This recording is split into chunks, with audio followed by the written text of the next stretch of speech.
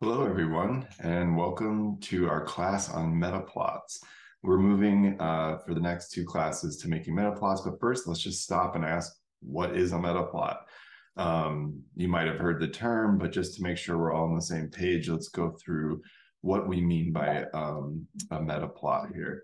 And so what we can think of a metaplot is an averageogram, where it's kind of we have genomic data, so we have like 30,000 observations of like 30,000 promoters. How do we visualize what the average thing is happening at a given position in a promoter? And so here's an example of one from uh, the DeepTools software, but really let's just break it down simply where each row um, is an enhancer, but let's say in our case, moving forward is going to be a promoter. So from upstream 1 kb to downstream 1 kb, would be the width of each row, and the middle would be the transcriptional start site. And um, so we can see that each of these rows is here, and that's a big plot, and we can see actually all the data individually here, um, where red is lower numbers and blue is higher numbers. We can see most of the action is happening here.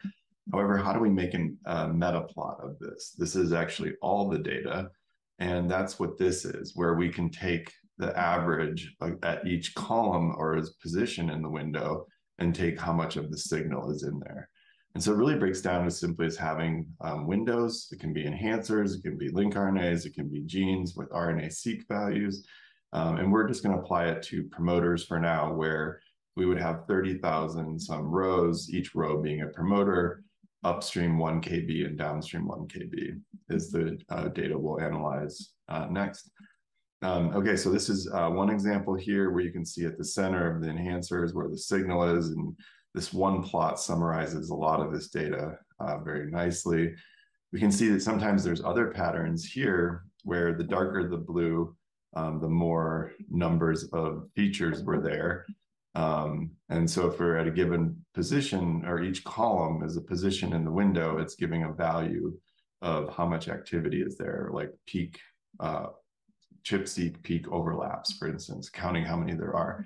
And so we can see this pattern where it dips down and the opposite one here, where the average of the signal is coming from here. And so these averageograms or metaplots tell you um, sort of in a visual way can summarize a lot of information. And then you have to also remember that they can are, are summarizing a lot of information. And so a lot is missing from the actual plot. Um, and this is just another one showing a different pattern here. And so we're going to use uh, the example um, in class where the window is a promoter. So each row will be a promoter and each column will be a position in the promoter window. And we will then use um, our promoter peak occurrence matrix, which has already told us for a given DNA binding proteins, let's say 20,000 ChIP peaks, um, where do they overlap in a given promoter window? And then we can sum all those promoters as, as rows, like in these uh, examples, and then um, sum the columns and find the, the sort of meta plot of that binding. Um, and so we're going to just step through it conceptually, and then we'll go through it in the next video. We'll go through this by code. So first thing we need is promoters. And we've uh, made that several times, and we'll just load in our long non-coding RNA mRNA promoters file from O1 peak features. Um, uh, so we'll we'll have those windows in the genomic ranges, um, and we can uh, know where uh, the each of the promoters is uh, relative to each other um, in our promoter peak uh, G ranges um, that we've been using. Okay, so we'll have our promoters here um, as a G ranges, and we have our ChIP-seq peak as a G ranges. And so in both of these cases, we're in genomic range space, which is basically the coordinates of the start and stop of these peaks um, and then which chromosome they're on, and same for the genes um, or the promoter regions. Um, so what we're going to end up doing is uh, transforming these promoters in uh, to 2 kb windows and we've done this many times, but here's the code here, promoters. Um, we've changed this to 1 kb upstream and downstream. Sorry about that. Um, okay, so then next what we have is uh, whether on an, an entire chromosome whether a peak overlapped there at a given position. So it gets a one if there was an overlap of a chip peak um, here. And we can see one issue right away to think about is what if there's a peak outside um, or there's a gene annotated after your last peak? Well, you want to get rid of that. Um, that can cause an error later um, and where it doesn't have uh, values to overlap with. Okay, so um, we want to get rid of that. We'll, we'll do that. And then we'll take our promoter windows and go across, align them across their entire chromosome. And we're going to be an integer range list space here. So we're going to, we've worked with G ranges and um, I ranges, and now we're going to do another one, which is integer ranges. It's the same kind of idea that you have starts and stops and a meta tag of which chromosome they're on. And we'll look at that more closely in the code. Um, but that's why we have these ones and zeros and we sort of count the or get a value if there is an overlap of the chip peak at every position in the window across the 2 KB. And this is where we're going to be an integer range list. So we're going to have to convert our promoters. Our two ingredients are our promoters list and our peaks list and we're going to convert both of those to an integer integer range list and run a function that we'll learn with views, which is essentially like find overlaps, which is going to say find the overlaps between the peak coverage ones and zeros here and where the positions of the promoters are, as was just animated. Okay, so then now we can make a list, or we can uh, make this a long list now um, down, and for each promoter, um, how many uh, positions had peak overlaps or not.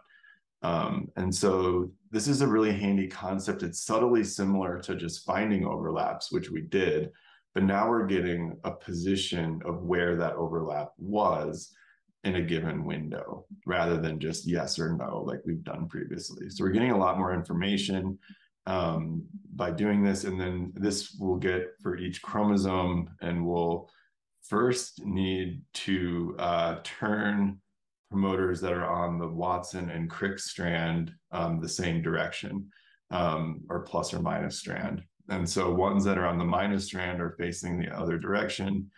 We're simply just going to take these values here and flip them around.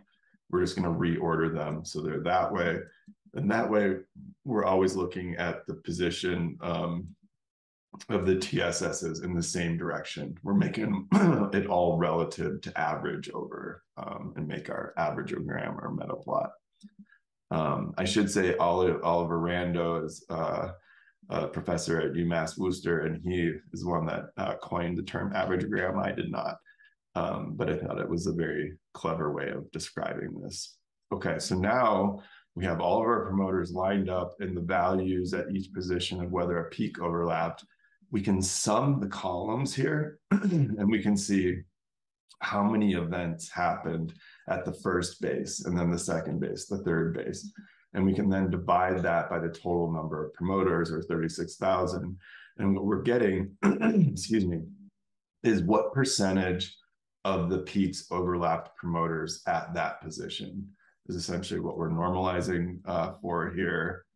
Um, I think I have that here. Yeah, sorry. So that you sum these up. And so col column three would have a one, column four would have a five, et cetera. And then you just divide it by the number of rows and you get this sort of percentage um, shown here.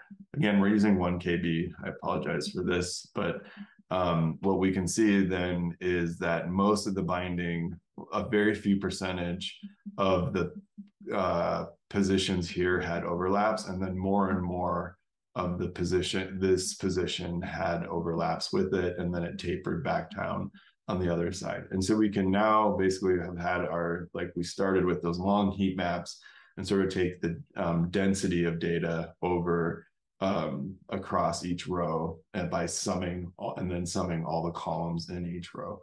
Um, all right, so that is the conceptual uh, version of what we are going to do with the code in the next class. So with that, thank you and be well.